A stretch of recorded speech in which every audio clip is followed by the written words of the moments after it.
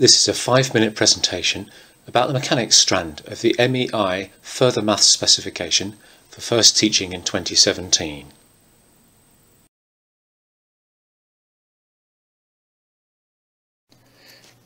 Mechanics is highly valued by universities, particularly as a preparation for mathematics, engineering and physics courses.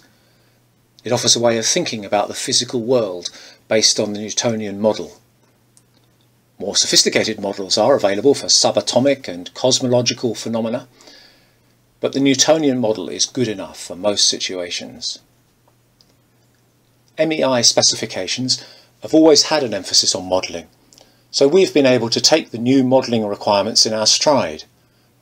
A few topics have moved around, and a few have been reintroduced from earlier specifications. But most of the mechanics strand will be fairly familiar to experienced teachers.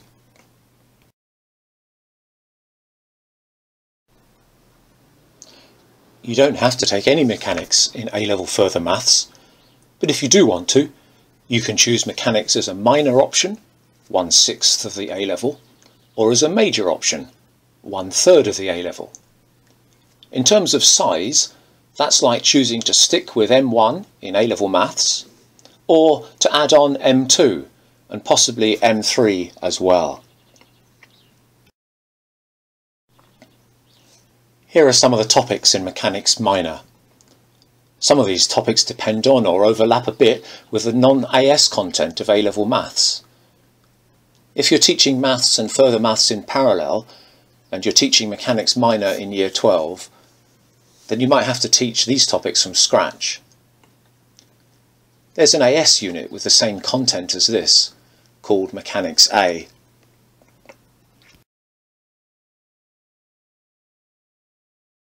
Mechanics Major has all the content of Mechanics Minor, plus some more.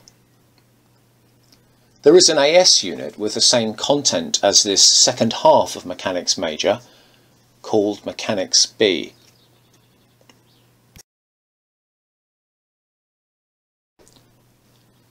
Exam questions do occasionally ask about the assumptions behind the models used in the questions, and they do ask about interpretation.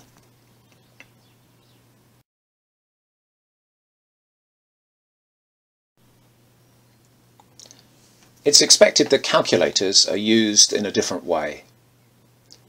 For example, if a centre of mass is being calculated in the continuous case, then candidates might write down the relevant integrals and then use the numerical integration feature on their calculator to evaluate them.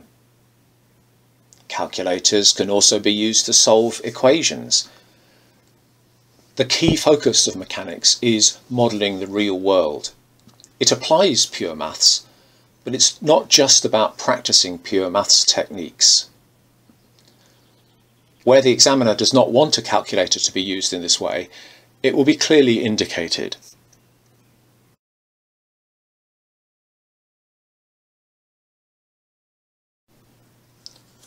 This is how the exams work. The minor option can be taught in Year 12 alongside AS Maths. The major option is probably best taught over two years. If you want to enter for AS Further Maths, then there's an AS unit called Mechanics A, with the same content as Mechanics Minor. There's also a second AS unit called Mechanics B, with the same content as the second half of Mechanics Major. This one is best taught in Year 13, and it's designed for students who are able to take AS Further Maths in Year 13.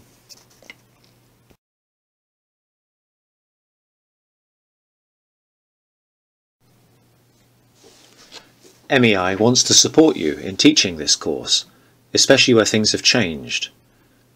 Some of the new MEI textbooks and ebooks have already been published and the rest are on their way. The highly regarded integral online resources are being updated and in some cases rewritten with interactive walkthroughs. There's a whole range of face-to-face -face CPD and online webinars, as well as some one-day conferences devoted to further maths. Finally, you can register for the MEI staff room an online place for finding free extra resources expert help from MEI, and support from other teachers teaching the MEI spec. Do get in touch if you have any questions.